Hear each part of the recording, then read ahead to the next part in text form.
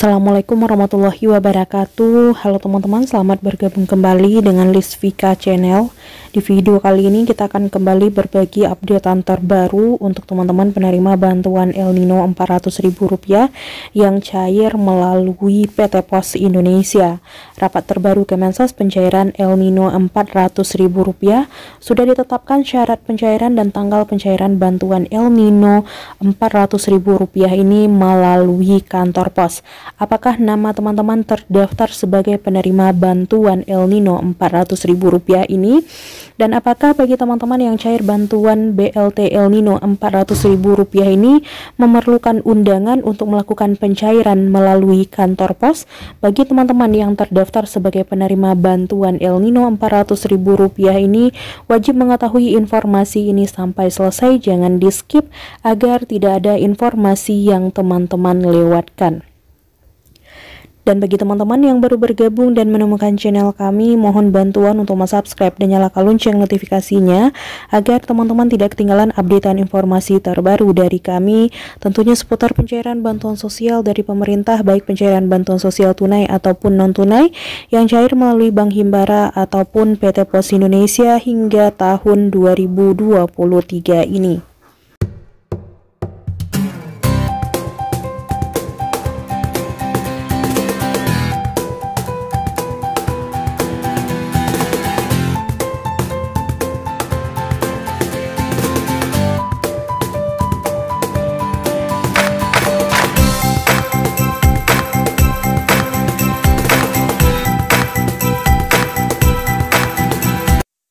Teman-teman penerima bantuan sosial di seluruh Indonesia November dan Desember ini akan dicairkan bantuan El Nino sebesar Rp400.000 di mana untuk alokasi pencairannya per bulan itu hanya dicairkan sebesar Rp200.000. Namun untuk pencairan bantuan El Nino ini akan dicairkan sekaligus dua bulan, periode salurnya November dan Desember, maka akan dicairkan melalui kantor pos sebesar Rp400.000. Nah, sejalan dengan instruksi dari Kementerian Sosial dan Kementerian Keuangan bahwasanya bantuan El Nino ini akan diberikan kepada teman-teman yang memenuhi persyaratan sebagai berikut. Nah, untuk syarat penerima bantuan El Nino Rp400.000 ini sudah ditetapkan oleh Kementerian Keuangan bahwa bantuan BLT El Nino Rp400.000 di tahun 2023 ini syarat penerimanya antara lain adalah masyarakat kategori miskin, yang kedua sudah terdaftar dalam program Keluarga Harapan atau PKH. Menurut Menteri Keuangan Sri Mulyani, dana bantuan El Nino diperuntukkan kepada 18, 8 juta keluarga penerima manfaat berdasarkan data yang dimiliki oleh pihak Kementerian Sosial.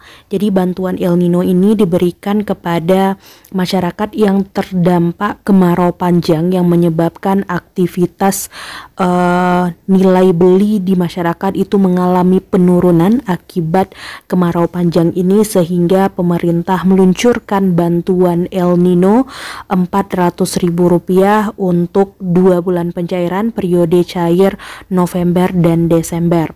Artinya bantuan El Nino ini satu bulannya dicairkan sebesar Rp200.000 namun dicairkan sekaligus untuk periode November dan Desember sebesar Rp400.000. Ini bukanlah bantuan reguler dari Kementerian Sosial namun ini adalah bantuan yang baru dikucurkan oleh pemerintah akibat dampak dari kemarau panjang yang melanda Indonesia sehingga turun turunnya daya beli masyarakat sehingga perlu dibantu maka diturunkan kalah bantuan El Nino Rp400.000 ini. Nah, untuk bantuan El Nino Rp400.000 ini akan disalurkan melalui kantor pos dan bagi teman-teman penerima bantuan El Nino ini untuk jadwal pencairan bantuan El Nino Rp400.000 ini akan dicairkan selama periode bulan November hingga Desember tahun 2023 dan tentunya untuk jadwal pencairannya ini dilakukan secara bertahap, tidak bisa pencairannya dilakukan secara serentak. Dan berkemungkinan besar untuk pencairan bantuan El Nino ini akan berbarengan dengan pencairan bantuan PKH tahap keempat dan BPNT tahap keempat melalui kantor pos. Terkait apakah bantuan El Nino ini bisa diambil tanpa undangan dari PT Pos Indonesia? Nah, untuk pencairan bantuan melalui PT Pos Indonesia, maka teman-teman wajib membawa surat undangan dari PT Pos Indonesia karena itu adalah bukti bahwa teman-teman terdaftar sebagai penerima bantuan El Nino ataupun penerima bantuan PKH tahap keempat dan BPNT tahap keempat. Jadi bagi teman-teman penerima bantuan El Nino Rp400.000 siap-siap di bulan November ini dicairkan bantuan El Nino dan tanggal pastinya kita tunggu saja dan kemungkinan di minggu ini semoga sudah ada tanda-tanda pencairan bantuan El Nino Rp400.000 melalui kantor pos. Oke teman-teman itu saja updatean informasi kita di hari ini semoga bermanfaat. Jangan lupa share video ini di akun grup media sosial teman-teman agar banyak yang mengetahui informasi ini. Terima kasih. Assalamualaikum warahmatullahi wabarakatuh.